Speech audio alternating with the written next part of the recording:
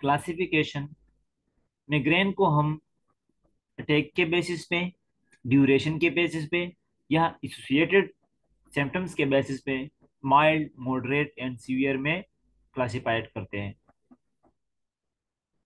जब ड्यूरेशन बढ़ेगा या नंबर ऑफ़ अटैक्स बढ़ेंगे या एसोसिएटेड जो सिम्टम्स है वो इंक्रीज होते रहेंगे तो मिग्रेन हमारे पास माइल्ड से सीवियर की तरफ़ जाएगा। माइल्ड मिग्रेन वो मिग्रेन होता है, जिसमें एटलीस्ट वन अटैक हो मंथ में, वो अटैक जो है आठ घंटे तक हो एंड जो हेडेक है इंडिविजुअल इसको बर्दाश्त कर सकता है, लेकिन हेडेक का जो नेचर होता है, वो थ्रबिंग होता है।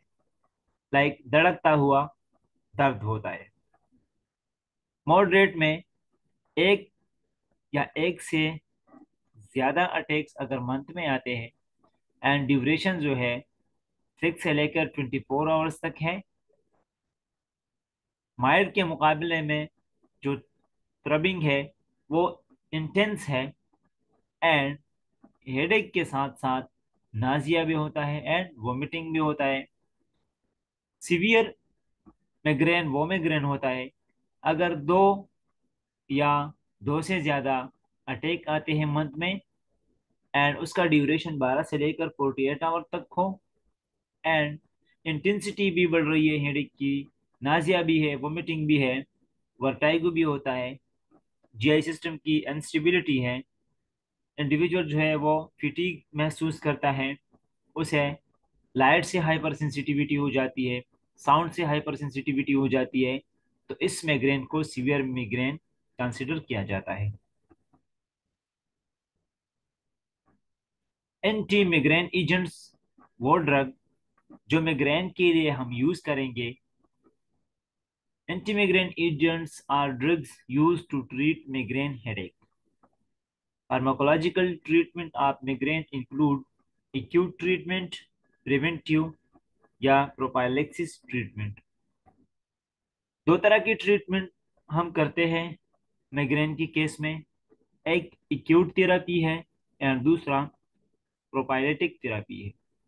एक्यूट थेरापी का मकसद ये होता है कि अभी जो करंट एपिसोड आया है, इसको ट्रीट करना है।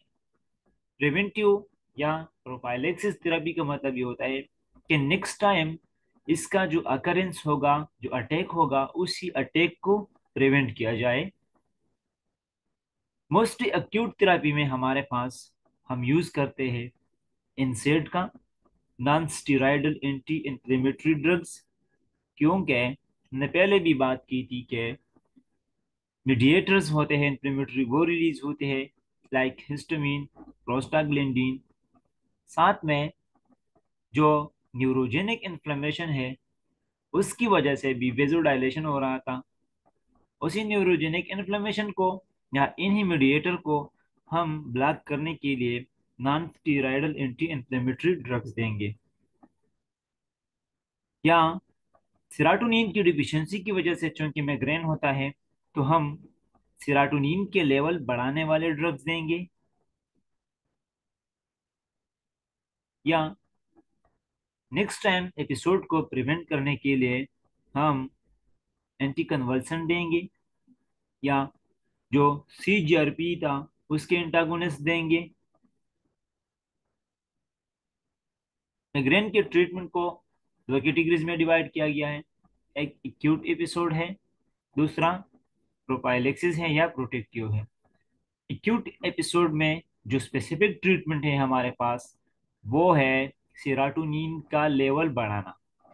सिराटोनिन सिराटोनिन के लेवल बढ़ाने के लिए जो ड्रग हम यूज़ करते हैं, वो है ट्रिप्टेंस एंड अर्गाट्स या एर्गाटामाइन ये ड्रग्स हमारे ब्रेन में सिराटोनिन के लेवल को बढ़ाते हैं। तो जब सिराटोनिन का लेवल बढ़ेगा वेजो डायलेशन नहीं होगी वेजो कंस्ट्रक्शन होगा। तो वेजो कंस्ट्रक्शन की वजह से जो पेन हो रहा था, वो हाइपर एक्साइटेशन की वजह से हो रहा था, वो हाइपर एक्साइटेशन नहीं होगा।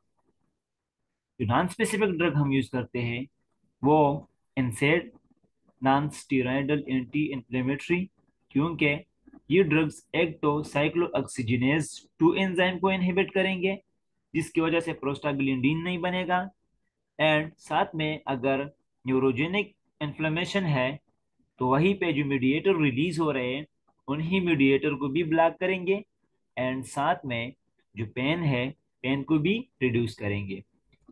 एंटी इमेटिक्स भी हम यूज़ करते हैं बिकॉज़ एरगार्ड की जो कैटेगरी है वो सिराटोनिन रिसेप्टर के केस में नॉन सेलेक्टिव है। वो सिराटोनिन के हर एक रिसेप्टर पे अपना एक्शन शो करता है तो वो नाजिया एंड वोमिटिंग काज कर सकता है। उसको ट्रीट करने के लिए हम एंटी इमेटिक्स देंगे। जो प्रोपाइलेक्सिस थेरेपी है प्रोटेक्टिव थेरेपी है, हम इसमें यूज़ करते हैं बीटा ब्लॉकर्स को कैल्शियम चैनल ब्लॉकर्स को ट्राइसाइकलिक एंटी डिप्रेसेंट को एंड एंटी कन्वर्सेंट ड्रग्स को। जो ट्राइसाइक्लिक एंटी डिप्रेसेंट है, ये सिराटोनिन के लेवल को बढ़ाते हैं, जबकि एंटी कन्वर्सेंट ये सोडियम चैनल को ब्लॉक करेंगे, क्योंकि हमने पहले बात की कि कार्टिक्स के सेंसरी एरिया में वहीं पे एक्साइटेशन हो रही है एंड वो एक्साइटेशन जो है एक्शन पोटेंशियल की वजह से है तो एक्शन पोटेंशियल आता है जब सोडियम का इन्फ्लक्स होता है। वहीं पे अगर हम सोडियम को चैनल को ब्लॉक करते हैं तो एक्साइटेशन नहीं होगा। जो कैल्शियम चैनल ब्लॉकर है या बीटा ब्लॉकर है, कैल्शियम चैनल ब्लॉकर भी सेम इसी एंटी कन्वर्सेंट की तरह से अपना एक्शन शो करता है एंड डीपोलराइजेशन को रिड्यूस करता है या एक्शन पोटेंशियल को रिड्यूस करता है, इसलिए जो एक्साइटेशन है वो नहीं रहती क्योंकि ब्रेन में एक्साइटेशन जब होता है कार्टेक्स एरिया में, वो किस फॉर्म में होता है? वो हमारे पास होता है पेन के फॉर्म में। हम यूज़ करेंगे बीटा ब्लॉकर्स क्योंकि बीटा ब्लॉकर्स जो है ये बीटा रिसेप्टर को स्टॉप करेंगे, क्योंकि बीटा रिसेप्टर जब एक्टिवेट होते हैं, वो डायलेशन काज करते हैं। जबकि बीटा ब्लॉकर्स जो है, उसी डायलेशन को इनहिबिट करके उसकी बजाय कंस्ट्रक्शन काज करेंगे। एंड उसी कंस्ट्रक्शन की वजह से जो ट्राइजिमिनल नर्व है, वो मैसेज को आगे नहीं लेके जाएगा। वो मैसेज जो है, फिर तेलमस में नहीं जाएगा। थैलेमस जो है सेंसरी कार्टिक्स को स्टिमुलेट नहीं करेगा एंड सेंसरी कार्टिक्स में जो एक्साइटेशन हो रही है, वो एक्साइटेशन नहीं होगा। इसलिए यहाँ पे मैं एक बार दोबारा रिवाइज कर रहा हूँ। पहला ट्रीटमेंट हमारे पास ये रहेगा कि जो चीज़ पेन काज कर रहा है, उसको इनहिबिट करना है। वो हमारे पास इंप्लीमेंट्री मीडिएटर है प्रोस्टाग्लिंडीन है। अगर हम उसे इनहिबिट करते हैं तो पेन नहीं होगा। दूसरा हमारे पास, हम सिराटोनिन के लेवल को बढ़ाएँगे। सिराटोनिन का लेवल जब बढ़ेगा तो वेजो कंस्ट्रक्शन होगी वेजो डायलेशन नहीं होगी। जब वेजो डायलेशन नहीं होगा तो ये जो है ट्राइजिमिनल नर्व को स्टिमुलेट नहीं करेगा। ट्राइजिमिनल नर्व जो है तेलामस को स्टिमुलेट नहीं करेगा। तेलामस जो है सेंसरी कार्टिक्स को स्टिमुलेट नहीं करेगा और फिर सेंसरी कार्टिक्स के एरिया में हाइपर एक्साइटेशन नहीं होगी, क्योंकि हाइपर एक्साइटेशन पेन है। या हम जो है, अगर एक्साइटेशन हो रही है तो उसी एक्साइटेशन के एरिया पे हम ब्लॉकेज लेके आएँगे। वहीं पे जो एक्साइटेशन हो रही है, वो सोडियम के इन्फ्लक्स से हो रही है पोटाशियम कैल्शियम के इन्फ्लक्स से हो रही है तो हम उसी इन्फ्लक्स को ब्लॉक करेंगे। जब वो इन्फ्लक्स ब्लॉक होगा एक्शन पोटेंशियल नहीं रहेगा डिपोलराइजेशन नहीं होगा तो जो एक्साइटेशन हो रही थी, वो एक्साइटेशन खत्म हो जाएगी। यहाँ पे जो क्लासिफिकेशन है, हमारे पास अगर हम एक्यूट केस की बात करें तो सबसे पहले हम यूज़ करेंगे NSAID non steroidal anti inflammatory drugs ये वो ड्रग्स है जिनका नेचर स्टीराइड नहीं है, लेकिन ये जो है इन्फ्लेमेशन को इनहिबिट करते हैं एंटी इन्फ्लेमेटरी है। एंड साथ में पेन को भी रिड्यूस करते हैं। लाइक स्पिरिन आइबाप्रोफिन एंडोमितासिन केट्रोलेक जो केटोराडाल एंड निप्रोक्सिन ये ड्रग्स पेन को रिड्यूस करते हैं पेन को सबसाइड करते हैं, क्योंकि एरेकिडानिक एसिड की कन्वर्जन होती है प्रोस्टाग्लिंडीन में एंड वो साइक्लोऑक्सीजिनेज टू एंजाइम के ज़रिए होती है। ये जो ड्रग्स हैं, ये साइक्लोऑक्सीजिनेज टू एंजाइम को इनहिबिट करते हैं सो एराकिडानिक एसिड प्रोस्टाग्लिंडीन में कन्वर्ट नहीं होता क्योंकि प्रोस्टाग्लिंडीन जो है वो पेन काज करता है। जब प्रोस्टाग्लैंडिन की फॉर्मेशन इनहिबिट होगी तो पेन जो है वो सबसाइड हो जाएगा, खत्म हो जाएगा। स्पेसिफिक ट्रीटमेंट में हम यूज़ करेंगे ट्रिप्टेंस ट्रिप्टेंस वो ड्रग्स है जो सिराटोनिन के लेवल को बढ़ाते हैं या जिस एरिया से केमिकल मीडिएटर रिलीज़ हो रहे थे वेजो एक्टिव पेप्टाइड रिलीज़ हो रहा था सीजीआरपी रिलीज़ हो रहा था सब्सटेंस पी रिलीज़ हो रहा था, उसी एरिया में रिसेप्टर के साथ अटैचमेंट के बाद इन्हीं सब्सटेंस के रिलीज़ को रिड्यूस कर देता है। तो जब ये सब्सटेंस रिलीज़ नहीं होंगे, ये मास्ट सेल को स्टिमुलेट नहीं करेंगे। मास्ट सेल जो है वो प्रोस्टाग्लैंडिन रिलीज़ नहीं करेगा हिस्टामिन रिलीज़ नहीं करेगा। ये दोनों जो है वेजोडाइलेशन काज नहीं करेंगे कैपिलरी परमेबिलिटी को इंक्रीज नहीं करेंगे, वो दोनों सिचुएशन जो है ट्राइजेमिनल नर्व को स्टिमुलेट नहीं करेंगे। ट्राइजेमिनल नर्व जो है वो तेलमस को स्टिमुलेट नहीं करेगा एंड तेलमस जो है सेंसरी कार्टेक्स को स्टिमुलेट नहीं करेगा। सो एज अ रिज़ल्ट जो हाइपर एक्साइटेशन हो रही है हाइपर स्टिमुलेशन हो रही है, वो नहीं होगा। इस कैटेगरी के जो ड्रग्स है, उसके एंड में आता है ट्रिप्टेन एल्मोट्रिप्टेन एलेक्ट्रिप्टेन प्रोवाट्रिप्टेन रीजाट्रिप्टेन नाराट्रिप्टेन सोमाट्रिप्टेन जुल्मीट्रिप्टेन दूसरा हमारे पास अच्छा ये जो ड्रग है, ये हमारे पास नेचर में क्या है? पाइप एच टी यानी सेराटोनिन के एगोनिस्ट है। सेराटोनिन के लेवल को बढ़ाएँगे। साथ में सेराटोनिन के रिसेप्टर पे अटैच होंगे। तो उसकी वजह से जो केमिकल रिलीज़ हो रहे थे और ये सारा मैकेनिज्म काज कर रहे थे, वो इनहिबिट हो जाएँगे। दूसरा क्लास हमारे पास है एरगार्ड्स एरगार्ड्स में जो ड्रग है, वो है डाई हाइड्रो एर्गोटामाइन ये ड्रग भी हमारे पास फाइव एच टी यानी सिराटोनिन का एगोनिस्ट है। लेकिन ये सिराटोनिन के जितने भी रिसेप्टर्स है, जहाँ पे भी मौजूद है उन तमाम पे अपना एक्शन शो करता है। साथ में इसकी अल्पावन रिसेप्टर पे भी एक्टिविटी है। सो अल्पावन रिसेप्टर पे एक्टिविटी की वजह से ये हमारे सर्कुलेशन में वेजो कंस्ट्रक्शन काज करेगा तो हाइपरटेंशन काज करेगा। एंड चूँकि ये हमारे पास सिराटोनिन के केस रिसेप्टर के केस में नॉन सेलेक्टिव है तो सीटीजेड यानी कीमोथेराप्यूटिक जोन वाले एरिया पे अगर ये स्टिमुलेट करते हैं five H T three receptor को तो काज करेगा इमेसिस इमिटिंग काज करेगा वोमिटिंग काज करेगा। इसलिए इसको ट्रीट करने के लिए, इस सिचुएशन को ट्रीट करने के लिए हम साथ में एंटी इमेटिक्स भी देते हैं।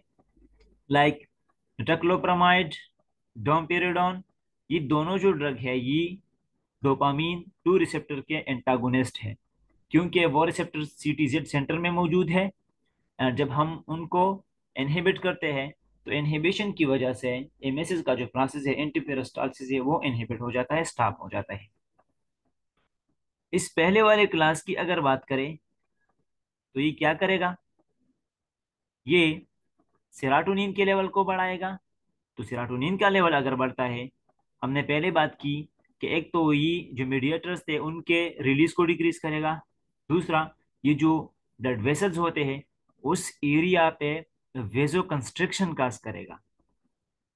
अगर इस ड्रग ने सर्कुलेटरी एरिया पे, यानी हमारे सर्कुलेशन में वेजो कंस्ट्रक्शन काज किया तो उसकी वजह से अगर हम बात करें हमारे हर्ट की, वहाँ पे मौजूद कोरोनरी जो वेसल्स है, अगर उनकी कंस्ट्रक्शन होती है तो उसकी वजह से एंजाइना हो सकता है स्पेशली जो प्रिंसमेटल एंजाइना है वो, या हाइपरटेंशन हो सकता है। एंड जो एक्यूट माइकार्डियल इन्फेक्शन है वो हो सकता है। ये जो ड्रग है, ये यूट्रस में मौजूद जो मसल्स है वही पे कंट्रेक्शन लेके आता है।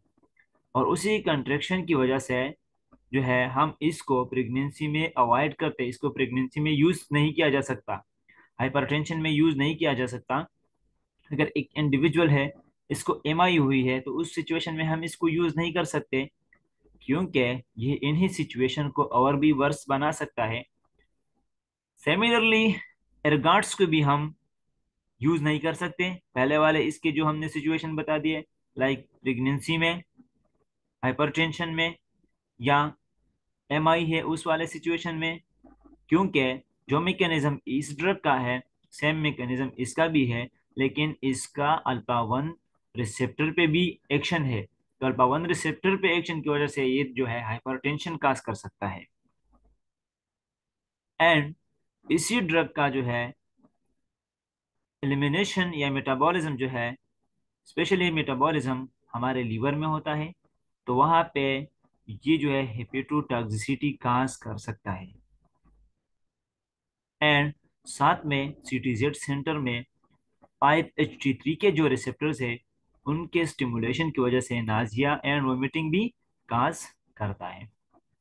प्रोपाइलेटिक एजेंट्स हमारे पास जो है वो है एंटी कन्वल्सेंट एंटी कन्वल्सेंट में मोस्ट कॉमनली जो हम ड्रग यूज़ करते हैं वो है टोपेरामेट एंड वालप्रोवेट क्योंकि ये दोनों जो है सोडियम चैनल ब्लॉकर है तो हम सेंसरी कार्टिक्स एरिया में मौजूद एक्शन पोटेंशियल को ब्लॉक करेंगे। वो भी सोडियम के इन्फ्लक्स को इनहिबिट करके।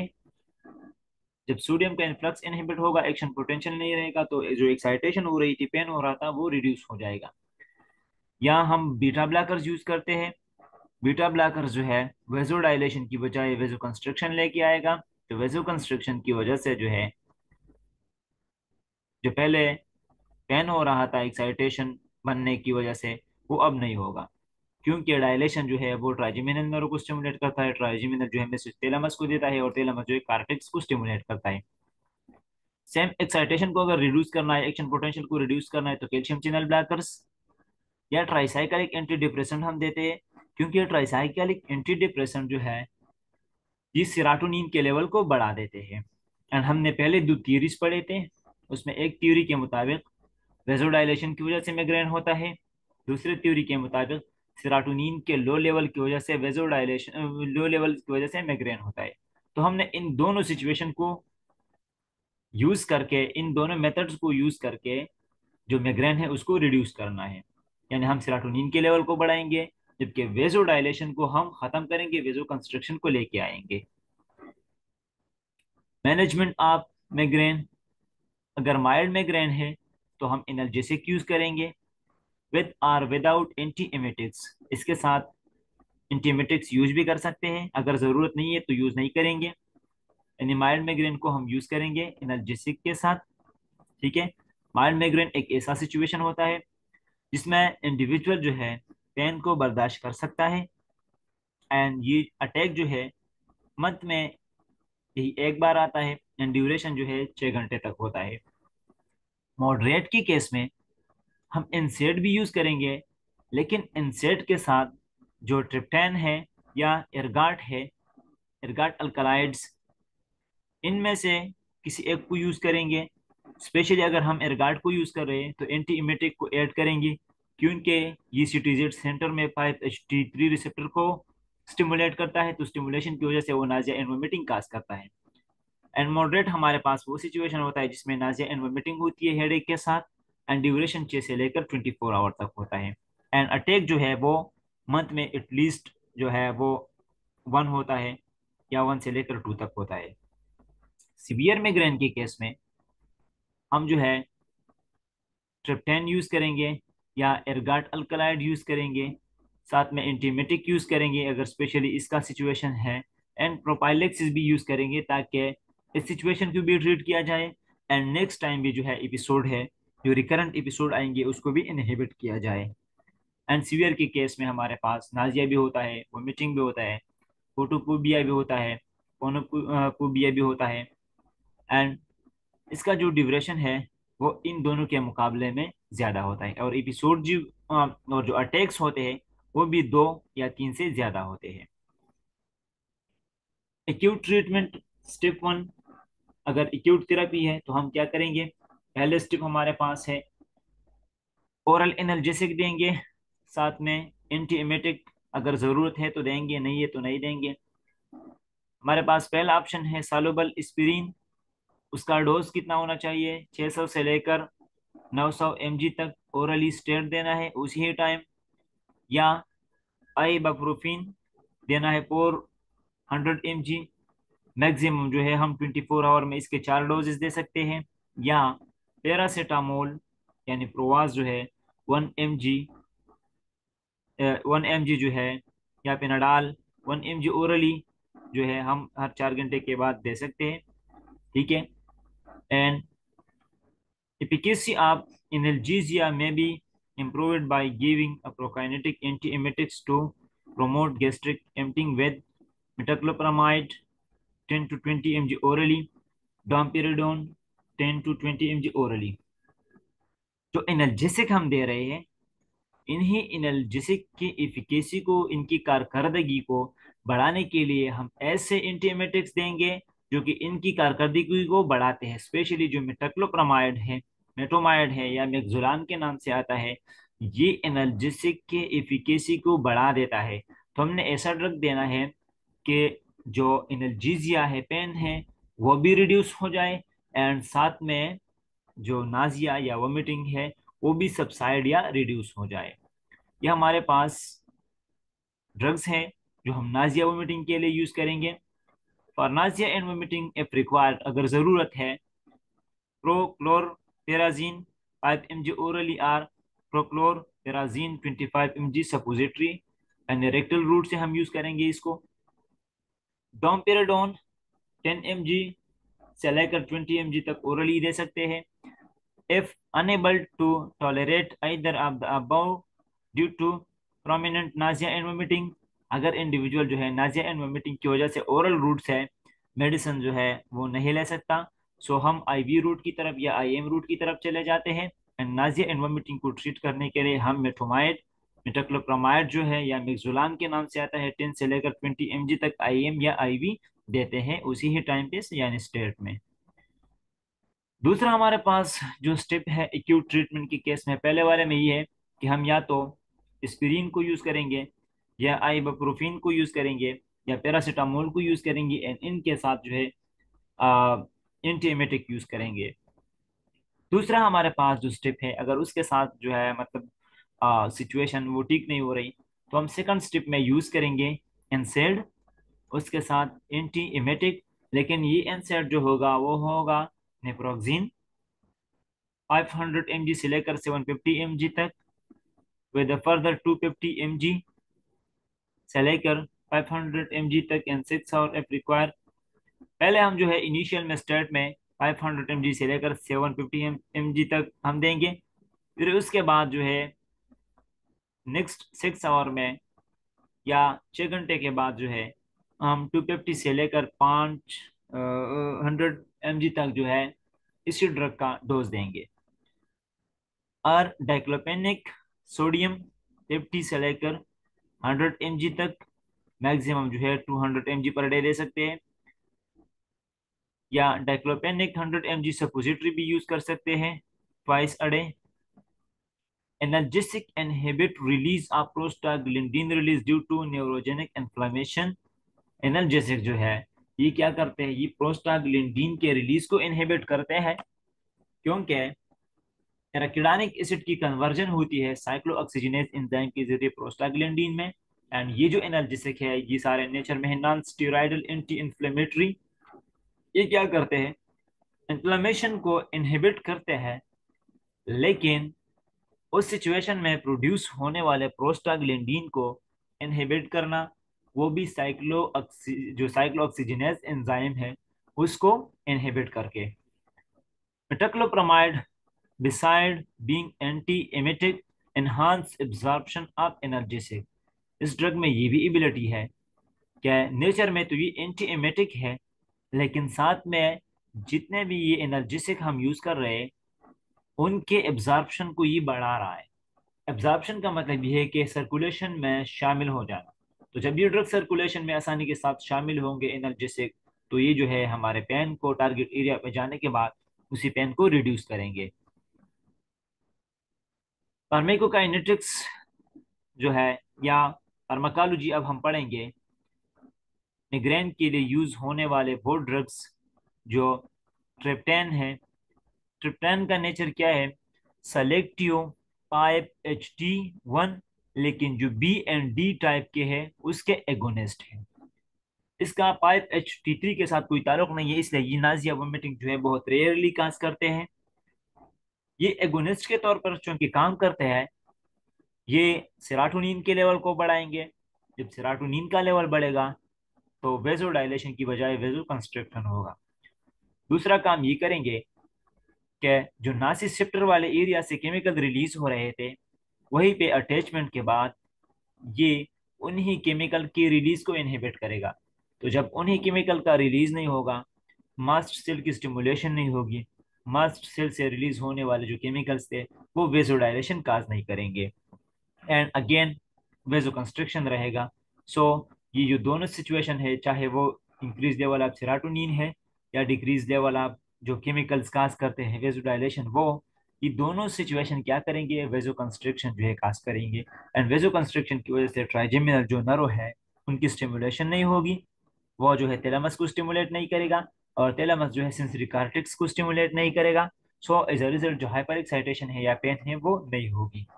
इस कैटेगरी में हमारे पास जो ड्रग है, वो है सोमाट्रिप्टान नाराट्रिप्टान रिजाट्रिप्टान इलेट्रिप्टान जुलमेट्रिप्टान एल्मोट्रिप्टान एंड प्रोवाट्रिप्टान ये हमारे पास ट्रिप्टान वाली कैटेगरी के ड्रग्स हैं। Therapeutic action triptans is a relatively new anti-migraine agent that causes cranial vascular constriction जो कि क्या कर रहे हैं? वास्कुलर कंस्ट्रिक्शन लेके आ रहे in relief of migraine headache pain and जो पेन हो रहा था। डायलेशन की वजह से वो उसको खत्म कर देते हैं। They do this by binding to serotonin receptor and ये एक्शन किस तरह से कर रहा है? सेराटोनिन रिसेप्टर के साथ अटैचमेंट की बात। तो जब सेराटोनिन रिसेप्टर के साथ इसकी अटैचमेंट होती है ब्लड वेसल वाले एरिया पे वेजो कंस्ट्रक्शन होगा। जबकि जो, जहाँ से केमिकल की रिलीज़ हो रही थी एंड वो केमिकल वेजो डायलेशन का कर रहे थे, उसी एरिया पे अटैचमेंट के बाद जो है, वही केमिकल का रिलीज़ इनहिबिट हो जाएगा। हमारे पास ट्रिप्टैन की जो फैमिली है एमसीक्यूज के लिए याद रखे, ये मिग्रेन के लिए हमारे पास ड्रग ऑफ़ चॉइस है। ड्रग ऑफ़ चॉइस है हमारे पास मिग्रेन के लिए। Indication triptan are indicated for the treatment of acute migraine and are not use for prevention of migraine ये हमारे पास एक्यूट केस में हम यूज़ करते हैं। पहले अगर हम हमने इस वाले सिचुएशन को तो में डिटेल के साथ डिस्क्राइब किया है कि जो ट्राइजेमिनल नर्व है, वही से या पेन के जो रिसेप्टर्स होते हैं नाजिसेप्टर वहाँ से कुछ केमिकल रिलीज़ हो रहे थे। जब ये स्टिमुलेट हो जाते हैं या एक्टिवेट हो जाते हैं, वो केमिकल हमारे पास थे vaso active peptide substance P C G R P release होने के बाद ये मास्ट सेल को एक्टिवेट कर रहे थे एंड उसकी एक्टिवेशन की वजह से वेजो डायलेशन हो रहा था।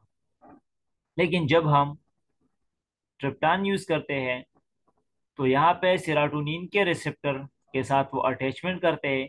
अटैचमेंट के बाद जो केमिकल रिलीज़ हो रहे थे, चाहे वो वेजो एक्टिव था सब्सटेंस पी था या सी जी आर पी था उनका रिलीज़ हो जाना, वो इनहिबिट हो जाता है।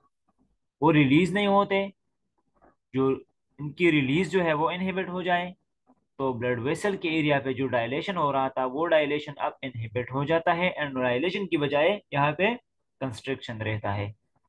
एंड जब कंस्ट्रक्शन होगी, ज़ाहिर बात है ट्राइजिमिन नर्व की स्टिमुलेशन नहीं होगी, वो तेलमस को स्टिमुलेट नहीं करेगा और तेलमस जो है कार्टिक्स को स्टिमुलेट नहीं करेगा हाइपर स्टेट नहीं लेके आएगा।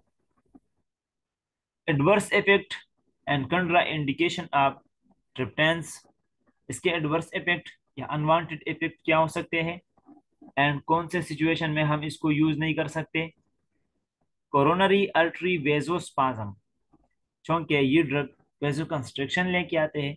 अगर इन्होंने वेजो कंस्ट्रक्शन हमारे कार्डियक एरिया पे लेके आए कोरोनरी जो वास्कुलर सप्लाई है, अगर वहीं पे लेके आएँगे तो वेजोस्पाजम होगा। इसलिए प्रिंसमेटल एंजाइना या एंजाइना काज कर सकते हैं। ट्रांसिएंट मायोकार्डियल स्कीमिया इसकी वजह से जो है, यानी वेजोस्पाजम की वजह से ऑक्सीजन की सप्लाई हमारे कार्डियक टिश्यूज तक डिमेनिश हो जाएगी डिक्रीज हो जाएगी। इसकी वजह से जो है इस्कीमिया हो सकता है और उस इस्कीमिया इस्कीमिया को कहते हैं myocardial ischaemia atrial and ventricular arrhythmia cause कर सकते हैं क्योंकि कंट्रेक्शन है। एम भी काज कर सकते हैं। Irritation at the site of injection the most common side effect of suma triptan nasal spray is a bitter taste ये जो है इरिटेशन काज करते हैं, जो इंजेक्शन वाला एरिया है, जिस एरिया पे हम उसको जो है एडमिनिस्टर करते हैं, वहीं पे एंड स्पेशली जो सोमा ट्रिप्टान है नेजल स्प्रे ये अगर आप यूज़ करते हैं तो बेटर टेस्ट जो है वो क्रिएट करते हैं। कंट्रा इंडिकेटेड कौन सी सिचुएशन में हम ये नहीं दे सकते? प्रेगनेंसी में, क्योंकि प्रेगनेंसी में ये जो है यूट्रस के एरिया पे कंट्रेक्शन लेके आएँगे तो उस कंट्रेक्शन को हमने प्रिवेंट करना है। कोरोनरी आर्टरी डिज़ीज़ में हम यूज़ नहीं करेंगे, क्योंकि ये स्पाजम काज करता है और स्पाजम की वजह से जो है माइकार्डियल स्कीमिया हो सकता है, या जो है चेस्ट पेन हो सकता है, जिसको एंजाइना कहते हैं। हिस्ट्री ऑफ़ स्ट्रोक और ट्रांजिएंट इस्कीमिक अटैक सेरेब्रोवास्कुलर और peripheral vascular disease peripheral vascular disease के केसेस में भी हम इसको अवॉइड करते हैं क्योंकि इस कंस्ट्रक्शन की वजह से ये जो सिचुएशन है और भी वर्स हो सकता है। अर्गोटामाइन दूसरा क्लास है हमारे पास। एरगाट है। डी हाइड्रो एर्गटामाइन जो है इस क्लास से बिलोंग करने वाला ड्रग है। थेराप्यूटिक एक्शन इसका partial agonist at alpha one adreno receptor alpha one receptor पे भी इसका एक्शन है और वो एक्शन एगोनिस्टिक है। तो अगर ये इन्हीं रिसेप्टर को स्टिमुलेट करेंगे तो वेजो कंस्ट्रक्शन होगा partial agonist at serotonergic receptor serotonergic receptor पे भी एगोनिस्ट की तरह काम करता है लेकिन सिराटो सिराटोनिन के जितने भी रिसेप्टर्स हैं तमाम रिसेप्टर पे ये अपना एक्शन शो करता है। सो so, स्पेशली अगर हम बात करते हैं फाइव एच टी थ्री, जो रिसेप्टर है सिराटोनिन का सी टी जेड सेंटर में मौजूद है। वही वही पे अगर ये एगोनिस्ट एक्शन शो करता है, स्टिमुलेशन काज करता है तो उसी स्टिमुलेशन की वजह से नाजिया एंड वोमिटिंग होगा। कंस्ट्रिक्ट ऑल पेरिफेरल आर्टरीज, क्योंकि अल्पा वन पे इसकी एक्टिविटी है तो अल्पा वन पे एक्टिविटी की वजह से जितने भी पेरीफेरी में आर्टरीज है, वहीं पे ये जो है कंस्ट्रक्शन काज करता है। इसलिए जब हम बात करेंगे इसकी कंट्रा इंडिकेशन की तो जो कंट्रा इंडिकेशन हम यूज़ कर रहे थे, इससे पहले ट्रिप्टान के लिए वही सेम कंट्रा इंडिकेशन इसके लिए भी होगी, इसकी वेजो कंस्ट्रक्शन एबिलिटी की वजह से। Ergotamine was the drug of choice for migraine before triptans were develop सबसे पहले हमारे पास जो मिग्रेन है, उसके लिए ड्रग ऑफ़ चॉइस जो था, वो एर्गोटामाइन था लेकिन जब ये न्यू क्लास आया ट्रिप्टान का तो ये क्लास रिप्लेस हो गया इसके साथ। अब हमारे पास जो ड्रग ऑफ़ चॉइस है मिग्रेन के ट्रीटमेंट के लिए वो है ट्रिप्टान इस कैटेगरी के जो ड्रग्स है वो हमारे पास ड्रग ऑफ़ चॉइस है like suma triptan zolmi triptan dose oral sublingual route is uh, preferred. 1 mg is given at half hours interval still relief is obtained. Total of six M G is given oral route से या सबलेंगल root से इसको priority दी जाती है। And one M जी जो है वो initial में दिया जाता है। एंड फिर उसके बाद जो है या सिक्स एम जी तक हम दे सकते हैं जब तक पेन रिलीव ना हो पेन जो है वो सबसाइड ना हो तो ड्रग को दिया जाता है। एडवर्स इफ़ेक्ट क्या हो सकते हैं? एंड कंट्रा इंडिकेशन कौन से है? एयरगार्ड अल्कलाइड्स के। Nausea and vomiting due to a direct uh, effects on CNS emetic center क्योंकि इस सीटीजेड सेंटर में मौजूद सेराटोनिन के रिसेप्टर को स्टिमुलेट करते हैं तो उसकी स्टिमुलेशन की वजह से एंटीपेरास्टालसिस मूवमेंट जो है वो शुरू हो जाएगा। यानी पहले नाजिया होगा फिर उसके बाद वोमिटिंग शुरू हो जाएगी। Ergotism repeated doses cause cumulative toxicity अगर रिपीटेड यानी बार बार डोज दिया जा रहा है, जब तक पेन रिलीव ना हो, तब तक डोज दिया जा रहा है तो ये जो है, इसकी अकोमुलेशन हो सकती है और अकोमुलेशन की वजह से टॉक्सिसिटी हो सकती है।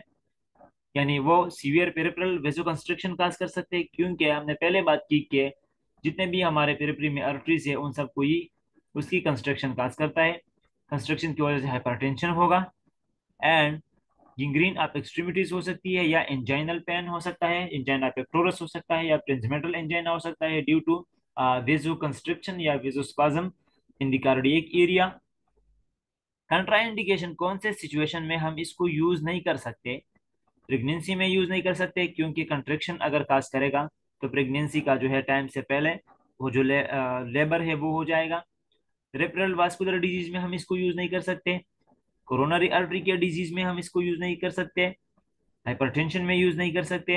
अगर एक इंडिविजुअल है, उसका रीनल या हेपेटिक जो फ़ंक्शन है, वो एम्पेयर है तो हम उस सिचुएशन में यूज़ नहीं कर सकते, क्योंकि लीवर में मेटाबॉलिज्म होती है इसकी। अगर लीवर में मसला है तो इसका अकोमुलेशन होगा। अकोमुलेशन की वजह से जो है पीरी प्रोलॉन्ग टाइम के लिए कंट्रेक्शन काज करेगा एंड प्रोलॉन्ग टाइम के लिए हाइपरटेंशन काज करेगा। सिमिलरली इसका जो रिमूवल होता है हमारे बॉडी से वो रीनल रूट के थ्रू होता है तो अगर इसमें मसला है स्टिल ये हमारे बॉडी में रहेगा वही हाइपरटेंशन एंड वास्कुलर रेजिस्टेंस को बढ़ाएगा in contrast to the contractile effect of ergotamine in the human isolated coronary arteries is long-lasting and persist even after repeated washing. अगर हम कंपैरिजन करें एर्गोटामाइन का या एर्गाट अल्कलाइड का ट्रिप्टान के साथ तो कंपैरिजन में ये है कि कोरोनरी आर्टरी पे जो डायलेशन कंस्ट्रक्शन है, वो एर्गोटामाइन के केस में प्रोलॉन्ग टाइम के लिए होता है एज कंपेयर टू ट्रिप्टान के केस में। जी। अब तक जो हम बात कर रहे थे, वो एक्यूट ट्रीटमेंट का था। अब हम प्रोपाइलेक्सिस की तरफ़ जाएँगे, कि रिकरेंट एपिसोड को किस तरह से हम प्रिवेंट करेंगे। Raising the threshold to migraine activation by stabilising a more reactive nervous system एक तो हमारे पास ऑप्शन ये रहेगा कि त्रिशूल हमारे पास वो मिनिमम स्टिमुलस होता है, जिसपे एक एक्शन जो है वो इनिशिएट हो जाता है। इस वाले सिचुएशन में जो एक्शन है, वो है पेन तो हम इसी त्रिशूल को क्या करेंगे? बढ़ाएँगे प्रोपाइलेक्सिस के थ्रू ताकि जो मिनिमम स्टिमुलस था, उसको मैक्सिमम किया जाए एंड इसी मैक्सिमम स्टिमुलस तक पहुँचने के बाद जो है पेन वो क्रिएट हो जाए. इन्हांसिंग एंटी नासिसेप्शन एंड जब हम ये मेकनिज्म यूज़ करेंगे तो इससे होगा ही कि जो नासिसेप्शन है, यानी पेन का जो परसेप्शन है वो जो है रिड्यूस हो जाएगा। यानी पेन को हम फिर परस्यू नहीं कर सकते। एंटी पेन एक्टिविटी है तो हम इस एक्टिविटी को बढ़ाएँगे। जब पेन परस्यू नहीं होगा तो पेन जो है वो हमें महसूस नहीं होगा कि पेन हो रहा है। इनहिबिटिंग सीएसडी जो डिप्रेशन या जो एक्साइटेशन हो रहा था कार्टिक्स के एरिया पे स्टिमुलेशन हो रहा था, उस स्टिमुलेशन को इनहिबिट करना। क्योंकि उसी स्टिमुलेशन की वजह से पेन होता है। Blocking neurogenic inflammation and neurogenic inflammation को ब्लॉक करना है, जो प्रोस्टाग्लियन बन रहा है या हिस्टामिन बन रहा है, उसको ब्लॉक करना है ताकि वो वेजोडाइलेशन काज ना करे और वेजोडाइलेशन जो है ट्राइजिमिनल नर्व को स्टिमुलेट ना करे और ट्राइजिमिनल नर्व जो है थैलेमस को स्टिमुलेट ना करे एंड थैलेमस जो है सेंसरी कार्टेक्स को स्टिमुलेट ना करे एंड सेंसरी कार्टेक्स में जो है एक्साइटेशन ना हो। Drug use for prophylaxis of migraine वो ड्रग्स जो हम यूज़ कर रहे थे क्लासेस हमारे पास जो थे, वो एंटी कन्वर्सेंट का था एंटी डिप्रेसेंट थे बीटा ब्लॉकर्स थे कैल्शियम चैनल ब्लॉकर्स थे। ये ड्रग्स या सोडियम जो चैनल ब्लॉकर्स है, वो हम यूज़ कर रहे हैं। ये ड्रग्स जो है नेक्स्ट टाइम जो एपिसोड होंगे, उन्हें इनहिबिट करेंगे। एंटी कन्वल्सेंट में हम मोस्टली यूज़ करते हैं टोपेरामेट को वालप्रोवेट को। ये दोनों जो है हमारे पास नेचर में सोडियम चैनल ब्लॉकर है, या हम गाबा पेंटीन को यूज़ करेंगे, जो कि गाबा के एक्टिविटी को बढ़ा रहे हैं। कैल्शियम क्लोरीन को अंदर लेके आ रहे हैं तो क्लोरीन जब आएगा, इसका इन्फ्लक्स होगा, नेगेटिव चार्ज है तो वो उस एक्साइटेशन को रिड्यूस करेगा। या हम लिमाट्रिजिन यूज़ करते हैं तो लिमाट्रिजिन हम ये जिन एरियाज़ में वेसल